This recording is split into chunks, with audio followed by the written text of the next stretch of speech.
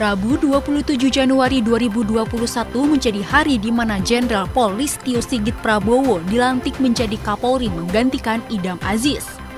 Jenderal polis Listio Sigit Prabowo resmi dilantik menjadi Kapolri oleh Presiden Jokowi di Istana Negara Jakarta. Untuk mengenal lebih jauh, berikut rekam jejak karir Listio Sigit Prabowo.